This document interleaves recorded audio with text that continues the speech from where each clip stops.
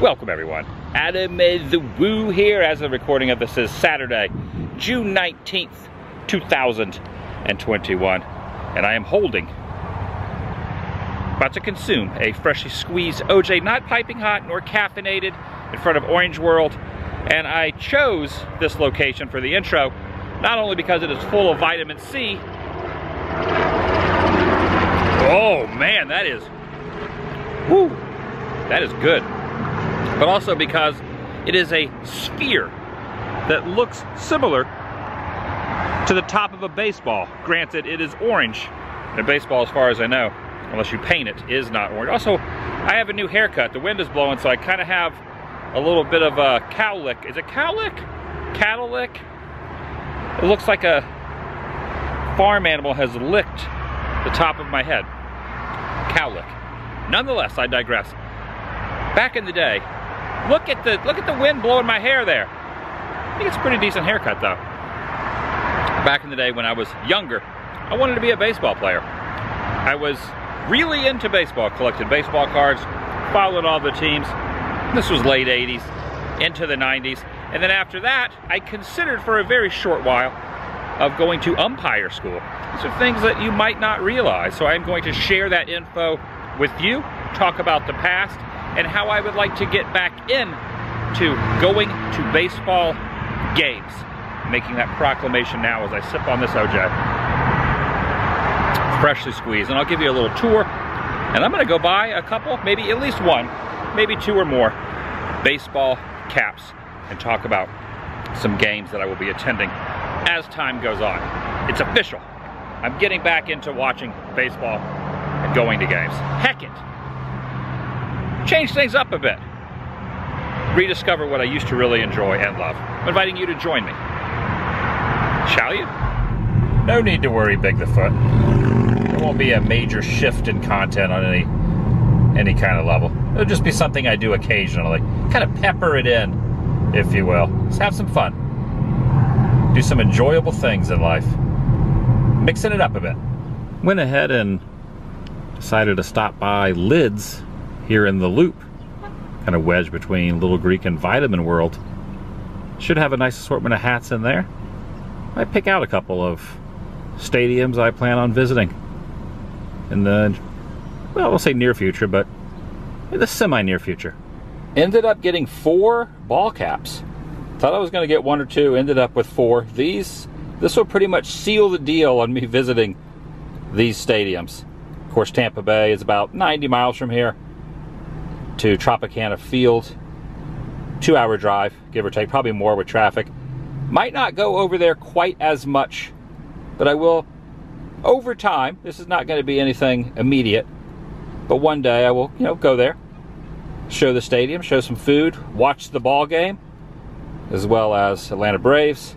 Of course, the Dodgers and Anaheim are in close proximity to my place out in Orange County, California. In fact, Anaheim Angel Stadium, now called the Los Angeles Angels of Anaheim, is probably a mile or so, maybe two miles, walking distance or a short commute to that stadium from my place out in the OC.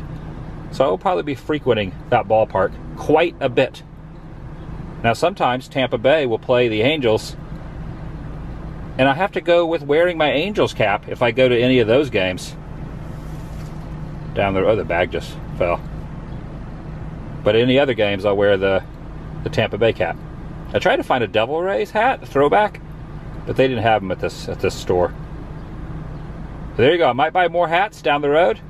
Not really partial to one team, but I believe that the Angels, the Los Angeles Angels of Anaheim, will probably quickly become my regular go to and the team I support the most because it's really close to my place out there. And I want to go to some games, enjoy enjoy the ambiance, the sights, the sounds, and the smells of a good baseball game. Drove over to the backside, not the backside of water, the backside of the Osceola County Stadium, Heritage Park. This building here, which is now used as the Orlando City Soccer or Football Club, depending on whichever you refer to it as, which was another sport I used to play soccer when I was very young. Never really followed the games though. Baseball really was the only the only sport that I followed closely.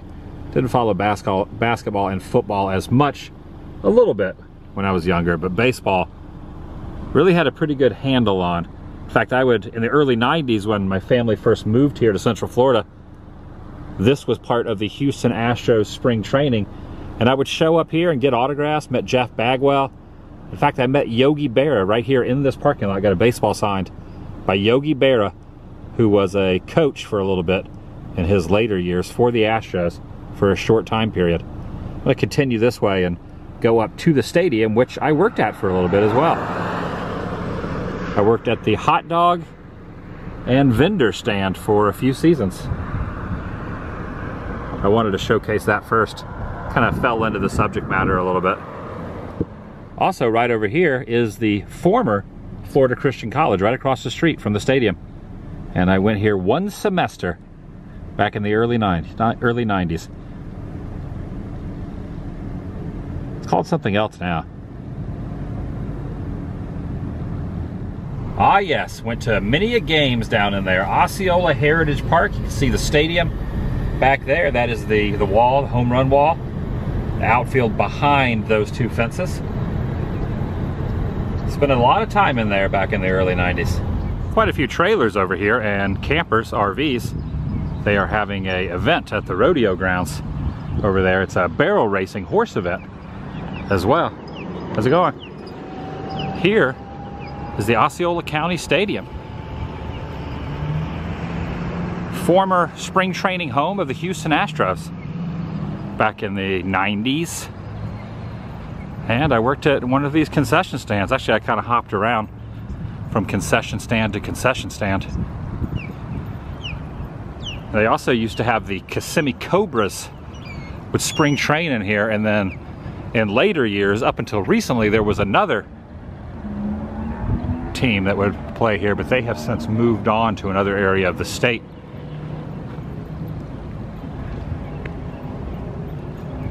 As far as I know, there are no spring training teams here at the Osceola County Stadium anymore.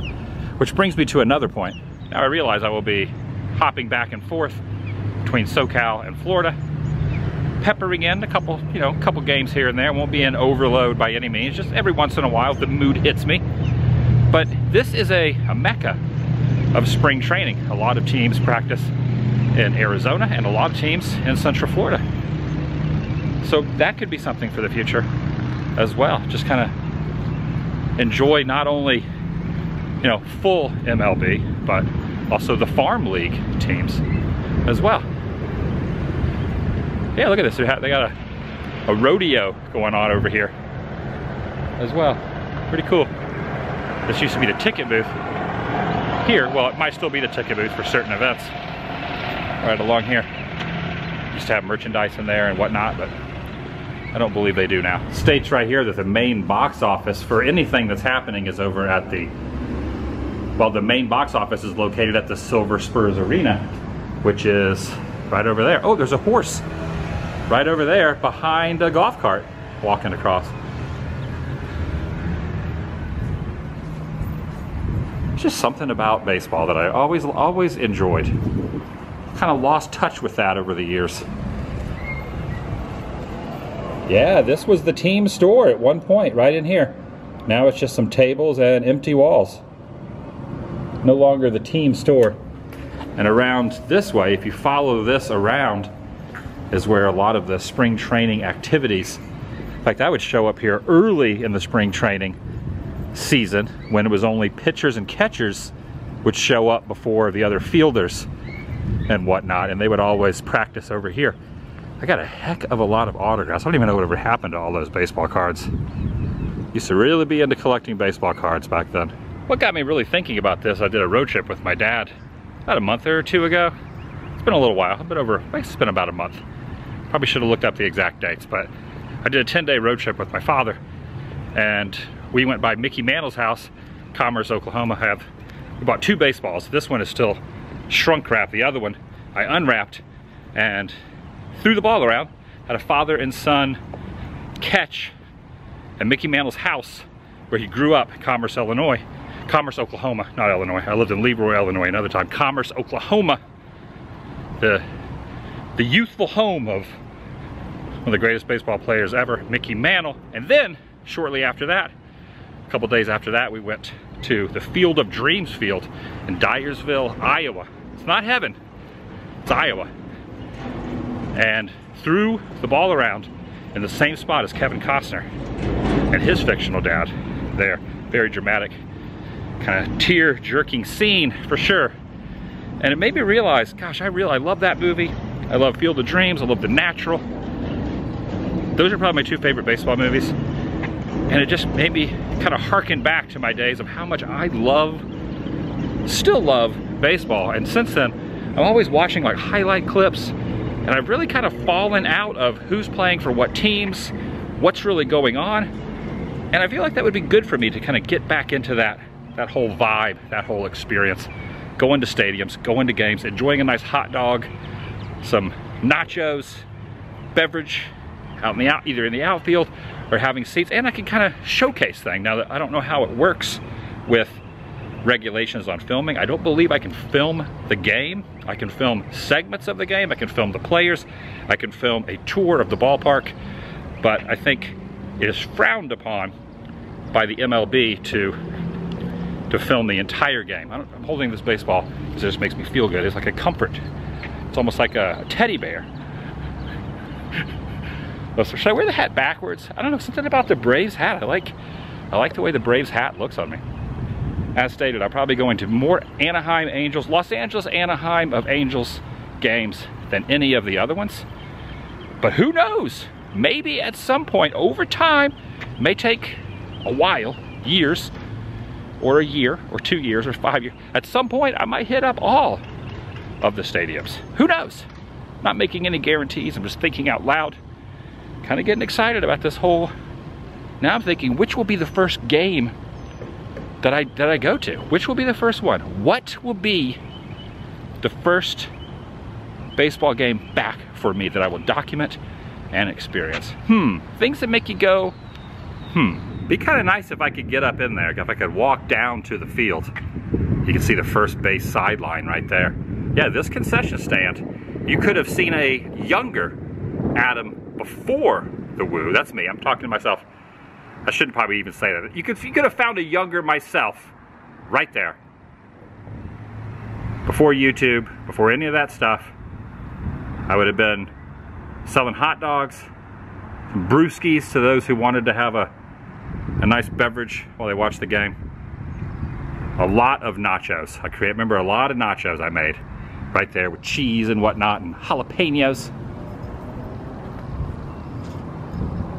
I need some baseball nachos. I need some baseball dogs. Hot dogs. This could be fun. I'm excited about this. I'm excited about this. What might happen. Now this gate is open. Should I try to walk back there? Probably not. What's the worst they could say? No? No one said anything.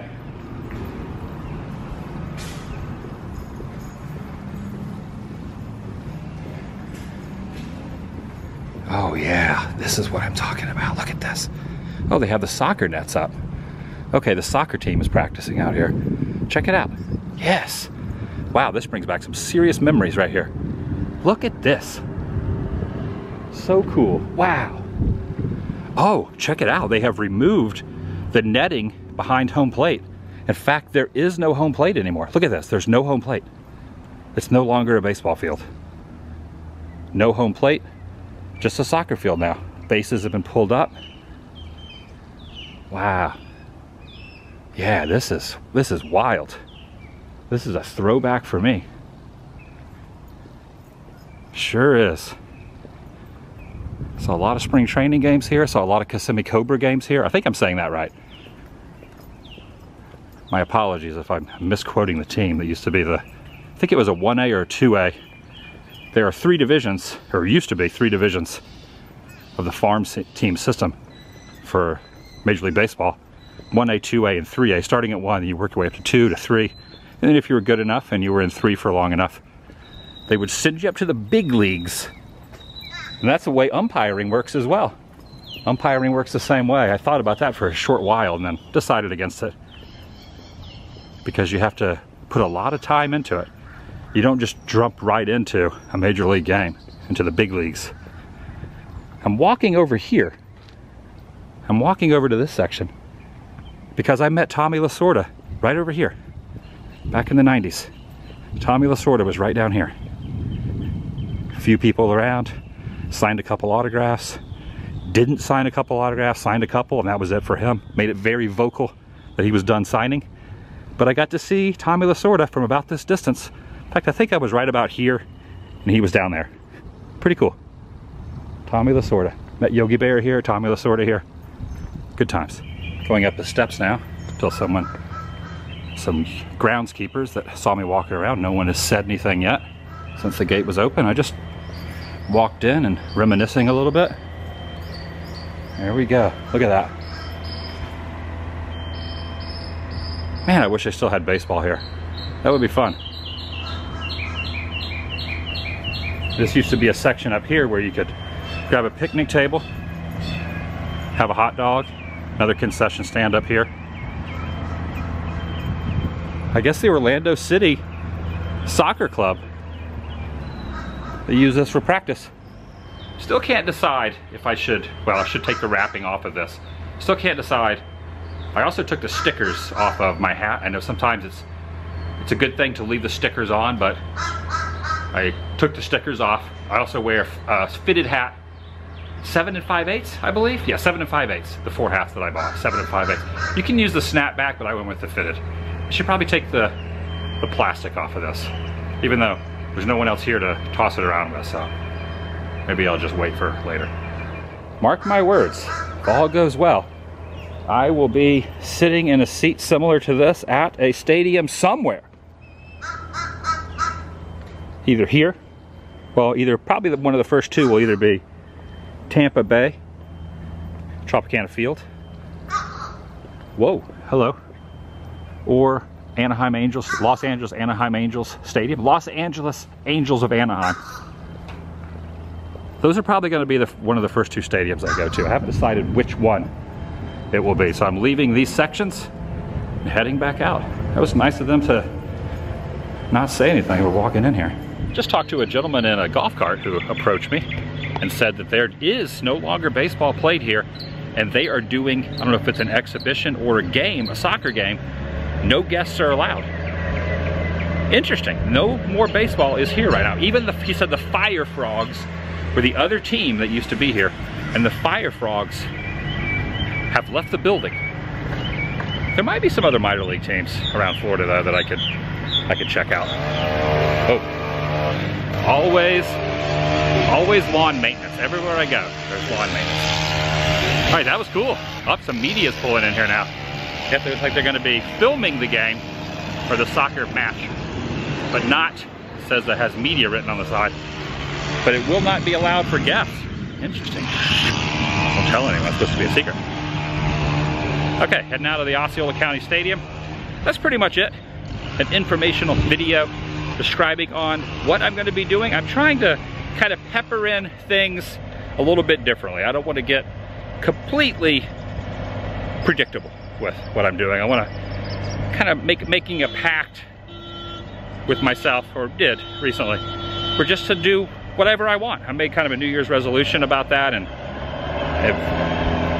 trying to hone that a little bit and really do more of what I enjoy and showcase that as opposed to just always being the same type of repetitive stuff. Mix it up a bit.